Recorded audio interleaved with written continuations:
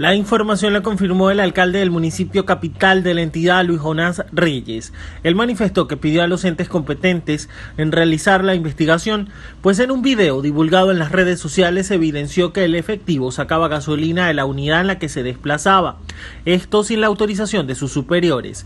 El alcalde manifestó que el efectivo policial se le aperturó un proceso administrativo, esto mientras se hacen las averiguaciones.